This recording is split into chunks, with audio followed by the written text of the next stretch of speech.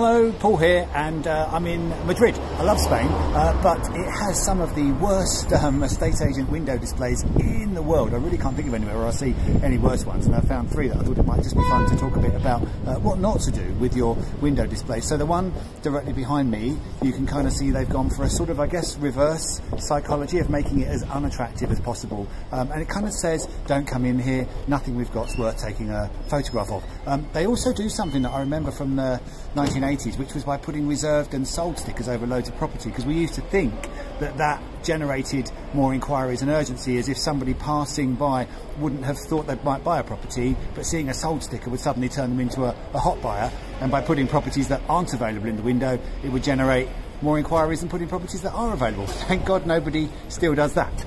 Over here, follow me, um, this one, a bit better. They discovered the 1990s um, and colour pictures. Look, colour printer, colour pictures, but tiny text and probably a bit too much. So if you imagine somebody uh, wandering wandering past in a hurry for work or anything, there's not really anything. I suppose the prison bars don't really help, but the, um, having small pictures and then loads of small text doesn't really um, help. Should we go for a little wander and I'll just kind of talk a bit to the camera and see how well we can do. Never done this before. Actually, never done a, a sort of reportage, roving reporter thing. But there is a better one that we're going to come to in a minute, and hopefully the main road that we're going to get to won't have a, a green light, and we'll just be able to cross over it. The window displays for me are like a really important thing about your estate agency because you know if you're on the high street you've got to get people to stop right that's uh, that's the whole point why you're paying like tens of thousands of pounds for that window that say an online agent just isn't paying for so surely you want that window to perform in the the best way that you can and by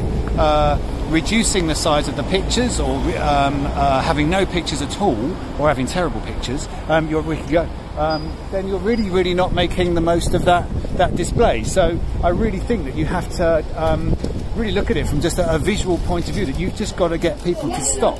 The rest of it doesn't really matter, does it? If they see something they really, really like in your window, and if you've put properties that are available in your window, then people will come in and they will talk to you about them.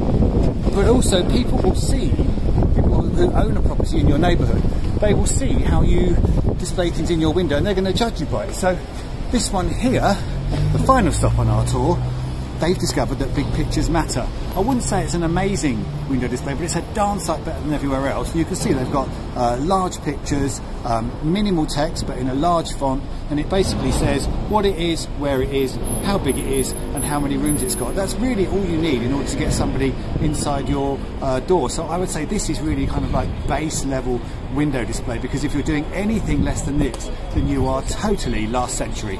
That's it for now. Um, back again with something else. And just remember that everything's easier when you're the favourite.